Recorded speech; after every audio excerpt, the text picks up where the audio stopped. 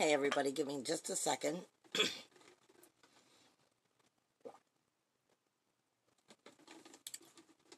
I know I'm making the video. It's like 2:40 in the morning. And I'm not waiting for anybody to come into the room cuz I'm just making the video. Those of you who've been following me for a long time, you know when I'm driving, I get a lot of my information from Spirit. And I was just on my way home from work. So I'm making this video to put it out there really fast. And I'm calling it like it's opening up your eyes. It's a preset crash course in reality from Jupiter because Zeus came in. Because Zeus came in and made sure that I was getting this through my head so I could make this video for you. It's making me very thirsty. okay, before I get into any of it, this does have to do with Jupiter being in Pisces, which is also Zeus. However, I'm going to go back for a minute. I'm going to remind you guys. We are in the age of Aquarian, the age of Aquarius. We are in the age of Aquarius. However, we still have so much age of Piscean that have to be unraveled or that is still unraveling before the true age of Aquarius can really come into tune, come into being. And we need to remember that because that has a lot to do with what we're going to be seeing in the next couple years and in the next couple months. Because what I was being given by my guides and from Zeus and in general is with Jupiter jumping into Pisces, we're going to be having a major crash course in reality, but also in fantasy, an illusion. You are being given the free will to completely drown your sorrows or to face to face the music is what I was just getting. Face the music or drown your sorrows. And this has everything to do with that Piscean energy that's trying to unravel still, while Jupiter now is in Pisces. Jupiter is higher knowledge, higher ascending information. I like to call Jupiter as the higher self a part of you that is connected to Jupiter is the higher self. However, Pisces energy is, I, I like to say, I was explaining to somebody earlier tonight. Pisces energy is is wants to believe in all of the good things in life and they want to have hope and compassion and love but sometimes you need to see the truth. This is like Pisces people tend to be the ones who bring home the stray dog. And sometimes, good morning, honey. Molly, good morning. I can barely see it. Um, sometimes the situation is very simple. I mean, sometimes things are not good, and you can't try to change the vibration into being something that's good. It needs to change. And this is why Pisces, people often get taken advantage of in this level because they, they hope that people are who they want them to be, but sometimes people are not who you want them to be. And I'm saying this because Jupiter coming into Pisces now is like I said, he's going to be unraveling the illusions. But there's only a small frame of this being a preset to get yourself directed. And I'm going to go into this in a minute. I'm just I'm walking you through it. This is there is a time frame on this part of a cycle within the cycles. Like I said, I've been getting a lot of that lately. There's cycles within cycles within cycles. And there's a small time frame for you to acknowledge that this part of this pre-cycle is starting. Because there's like a standstill and like a the way spirit gives me, it's like a mechanical malfunction.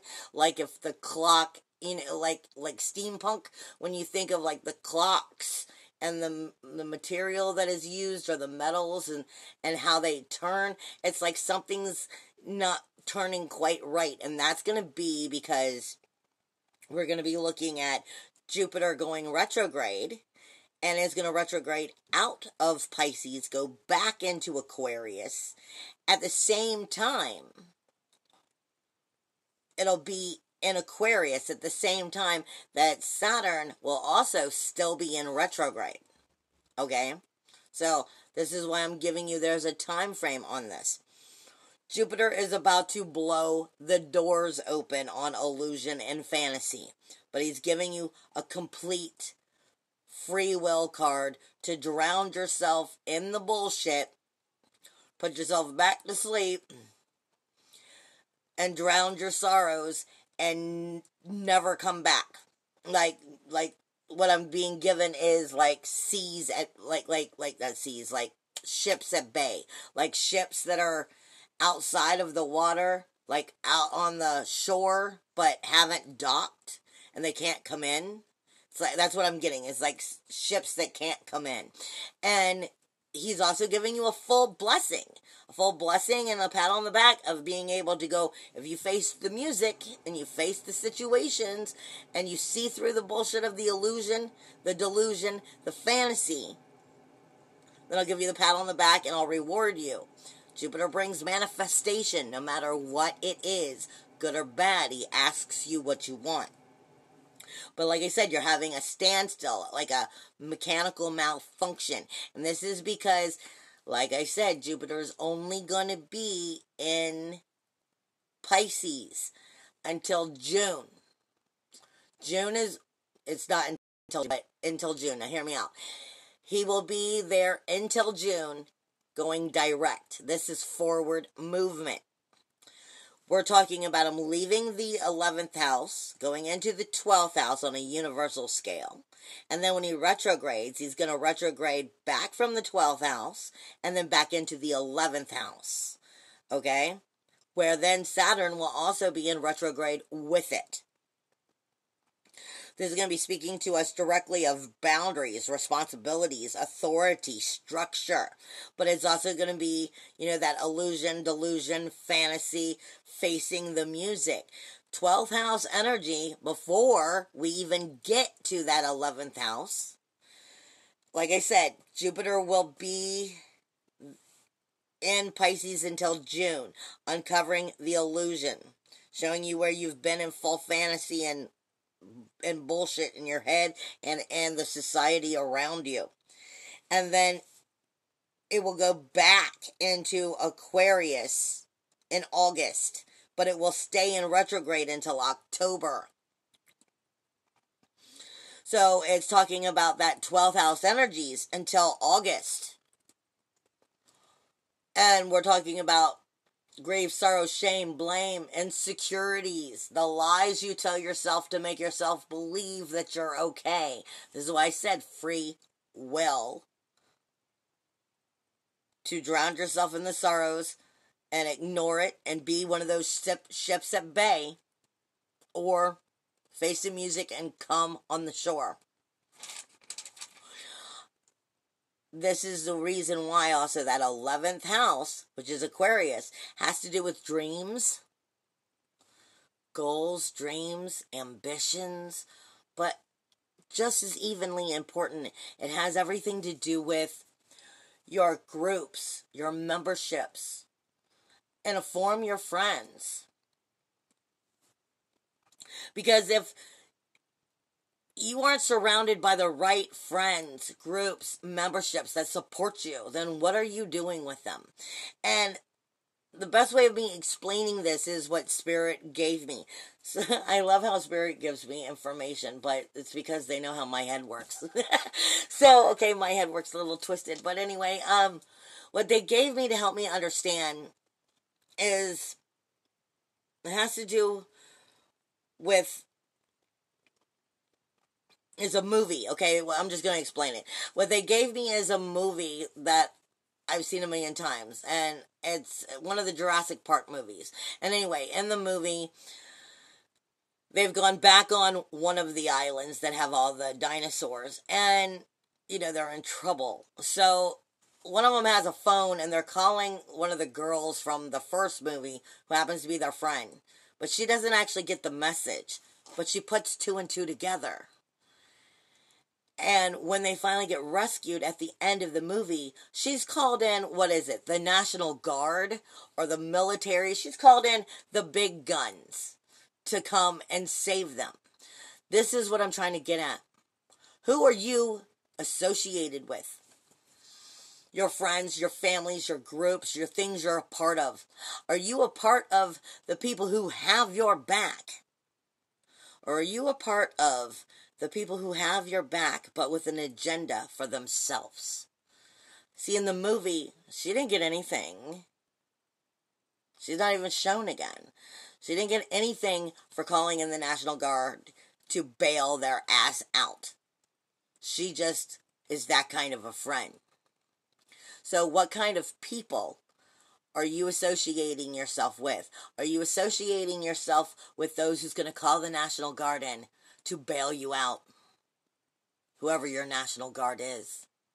Or are you staying in line with people who really have an agenda and the only reason they have your back is for their own agenda?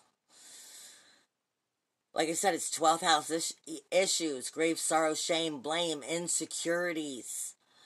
It's the skeletons in the closet and the lies we tell ourselves versus the people we concern ourselves with. and are they helping us go forward in life? Are they going to help us get through and create the structure and the foundation that we want as we move forward? Or are they actually, you know, something that's not going to set well when the pavement dries. I'm going to put a lump in it. Are they going to be there for you? Are they going to actually help you set those boundaries and still love you when the chips are down? This is part of what we're being told to look at. You need to, I'm also being given elephant medicine, which means patience, wisdom, loyalty, and very strong family bonds. Like I said, are they going to be with you when the chips are down? Or is that when they're going to turn their back? And are they going to call in the National Guard to bail your ass out because they love you? Or would they just leave you there on that island and not think twice about it? These are some of those things that you're going to need to acknowledge as you're going through the next couple months, especially as we go into the retrogrades of Jupiter and of Saturn. But this is the crash course in reality of going, I'm giving you it up front to see what's going to happen once Jupiter comes out of retrograde. Because you're telling him right now what you want to manifest. So start manifesting correctly. I love you guys. Bye.